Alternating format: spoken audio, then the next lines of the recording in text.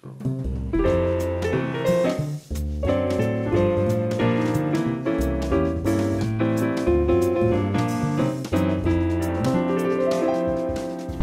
さんこんにちは。シルキースタイルの島津です。山田です。この動画は弊社代表の山田の著書とっておきの一着さえあればいいから、えー本には書ききれなかった内容をご紹介いたします、え今回は未来の自分を下着で描くについてご紹介していきます。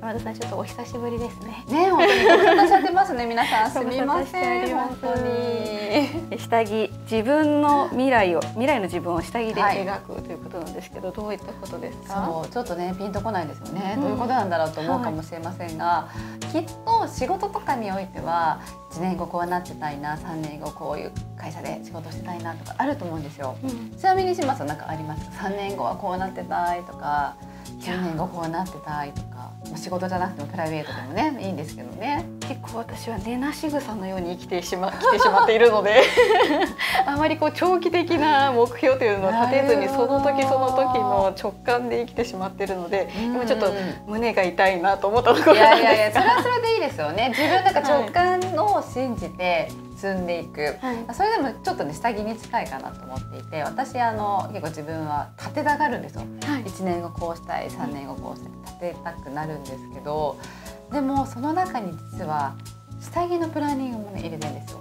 下着のプランニング。そう。例えばはい。この下着すごく自分の中では手に届かないけど3年後の自分はこの下着を着てたい着れる自分でいたい例えばなるほバーキンが似合う女になりたいとかあるじゃないですか。ますね。いつかはバーキンがモテるみたいな。そういうイメージと一緒で、うん。なかなか今手が届かないけどこれが似合う女性になってたいみたいなそういうのは結構ね書いててでそれが3年後こういうの着てたいし10年後は例えばシルクのこんなもの身にまとってなんかエーゲ海を旅したいとか。結構具体的具です体的にねそう具体的に書けば書くほど、はい。まあ、自分がどうしてもそこに近づこうとね一生懸命頑張るんですよね普段うんの中で。確かになんかこうイメージがこう引き寄せるみたいなこともねよく聞きますもんね。やっぱりね大事で。で特にこう下着ってやはりその例えばピンクの下着とかだけだと伝わりにくいから私よくあの雑誌、はい結構ね切り抜いてあこのまたエーゲ海ですかねエーゲ海に行きたいとかってこう写真をね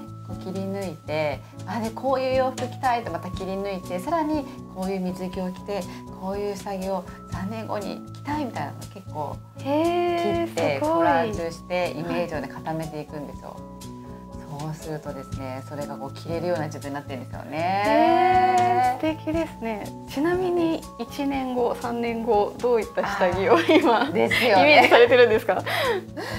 ね、それで言うと、まあやっぱり1年後は割とね近いですけれども、まあ今あのシルキースタイルがこう作っているようなこうストレスがなくでも体をこう綺麗に見せてであの見た目も美しいみたいな、うん割とこう等身大な下着のラインナップを全部こう揃えて全部それが自分のこうクローゼットにあって、うん。いつでもこう赤白青いろんな色を着れる自分でいたいみたいな感じですしなるほでも3年後はやっぱりこう全身こうやっぱ私シルクが大好きなのでこうシルクの下着に囲まれたいみたいなうーん。ありますよね。なるほど。そうするとやっぱそれを変えるためのやっぱりライフプランも自分で頑張らなきゃみたいなそう。ですよね。確かに。ねそうなんです。島さんどうですか？いや今私イメージが？30代の私におすすめのこの3年先の私が着ているといいものはどういったものなのかなって今思ってて。いろんな色を着てほしいですよね。うん例えば洋服で普段着ないようななんかこうグリーンのものとかうん下着で確かに。なんかね着れるとちょっとこう違う自分にステップアップしそうな気がします。まずは色からがいいですか？色からは入りやすいですね。わかりやすいはい。はい、皆様もぜひ、えー未来の自分を下着で描いてみてください。この動画が良かったと思う方は、いいねとチャンネル登録をお願いいたします。